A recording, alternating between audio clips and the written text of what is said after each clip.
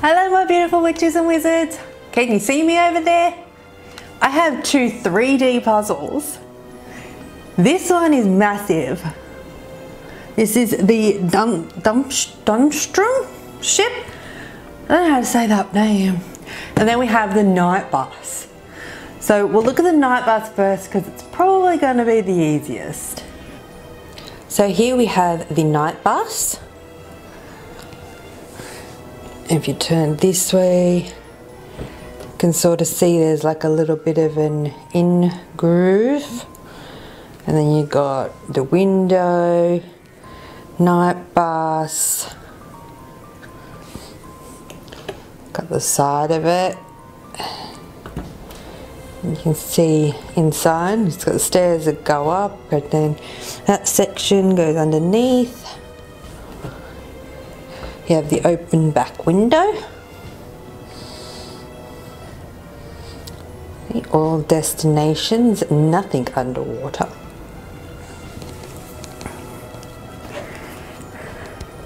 It has 73 pieces all up and it's kind of made of like a cardstock paper stuff. You can get these off a website called Catch for about $30. It is about 23.8 centimeters high and 31.8 long and then this way is 12 centimeters. But that is the Knight Bus. I will put up a picture of what the pieces come like, the picture of the box, and all that at the end of this video.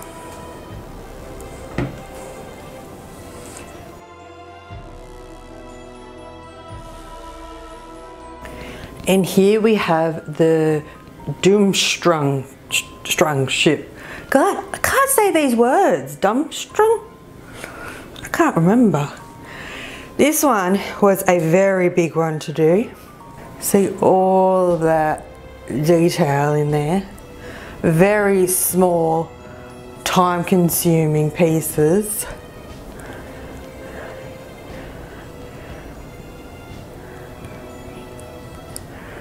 Anchor hanging off there especially these ropey bits because constantly worried I was going to break them.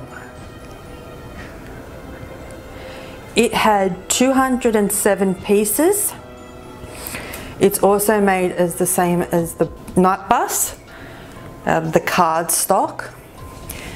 These bits are kind of like a hard paper. Here's the front of it. You can see down into there. You don't need any glue on either of these. They just clip in to spots. See those little little knobby things there?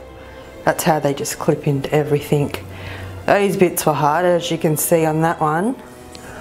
Kind of made a bit of a crease trying to get it in. You can get this one from Catch as well for $50.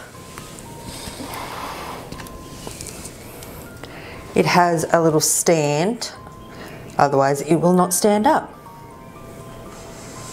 It is 50.9 centimetres high, 40 centimetres long and 13.9 centimetres wide. Very big, very time consuming but very, very awesome once it's done.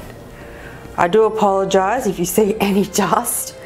They are not very easy to clean because I'm constantly fearing that I'm going to knock it and not be able to put it back together. So they are my two 3D puzzles, my two new ones.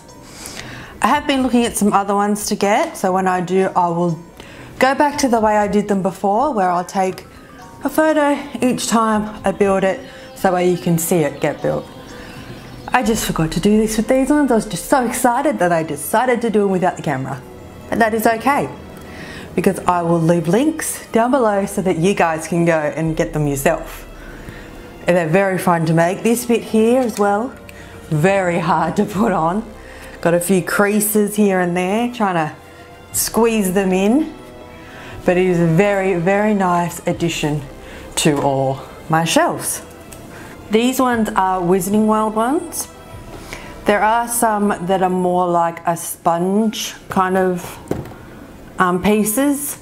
They're Wibbits. I can't remember what it's called, but I'll put a link to that below too. They have other ones as well you can do, but these ones are more like a cardboardy one. So that's about it. If you like this, please give it a thumbs up, tick that bell and subscribe will be much appreciated. There will be more videos coming soon. Like I said in a previous one, I am getting loot boxes again, so that should be fun. And we'll have fun opening them together. So until next time, keep that magic flowing. Bye guys.